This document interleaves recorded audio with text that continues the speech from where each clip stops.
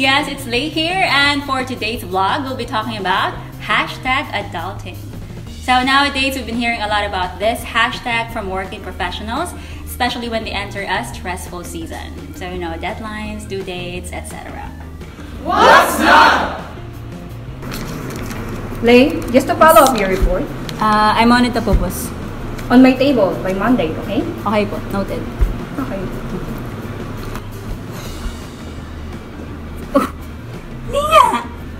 As in? Yeah. Grabe, kaya pala she always goes to our boss's office. Oo, no. Tapos, alam mo ba, they usually see them go home together. Like, grabe As in, talaga. grabe, Oo, no? sobrang immoral. Ay, grabe. As in, I agree. Totally. What's up? Lay, just to follow up your report. Um, I'm on it na po, boss. On my table by Monday, okay? Okay po, noted. Ano ba? Wait, pero wait ha. We should not be talking about it if we do not have evidence. you know. Evidence pa? Eh, ang obvious kaya. Yeah, I know. Pero, syempre, we should not talk behind people's back. So, it's best pa rin for us to approach the person, you know, ask and clarify. Diba? Okay, sabi mo eh. In responding to gossip in the office as grown-ups, we remember that we are to do the Matthew 18 principle. First, we do not just believe every accusations or story, so it has to be with at least two or three witnesses. Second, we confront the person involved first. Third, if the person would not respond well or participate, we correct or confront the person in the presence of a witness.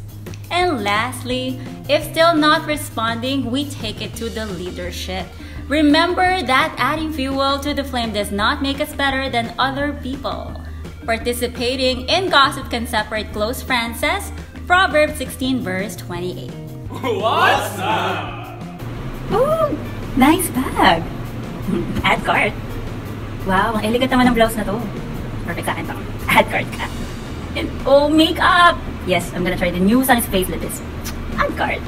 Oh, of course. Shoes! Uy, perfect color blue. Add card. What's up? But wait. It was just the end of the month and I just finished paying off my bills, rent, utilities. Hmm.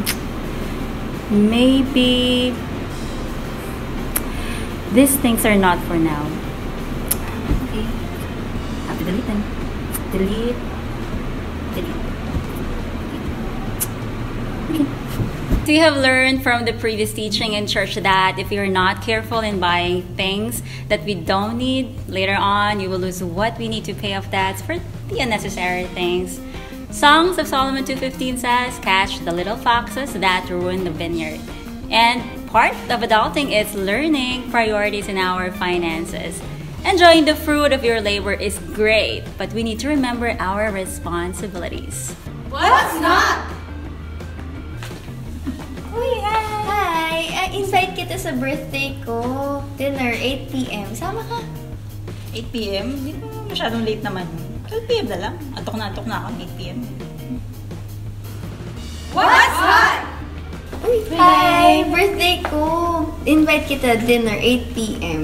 Ay, anong araw ulit? Bukas. 8pm? Hindi na yata ako pwede ng ganun kalite. Okay lang kaya mas ano, mas maaga. Pwede kaya iba yung time. Ah, tatanong ko. Ano, okay lang ba kayo? Kung, nga- kung 6pm, okay lang ba?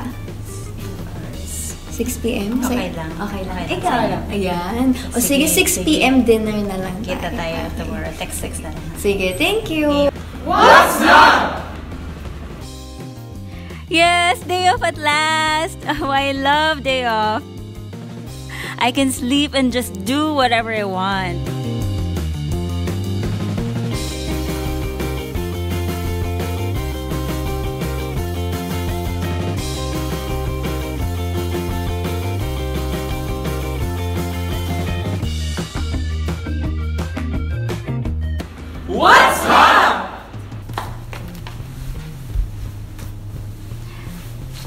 I had a very productive day. So, what I did, I woke up early.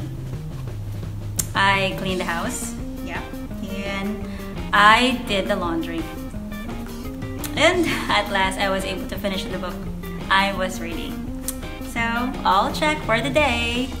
As we grow up, we need to learn to remember who we are now. Ephesians 2 verses 1 to 3 says, As for you, you were dead in your transgressions and sins, in which you used to live when you followed the ways of this world and of the ruler of the kingdom of the air, the Spirit who is now at work in those who are disobedient.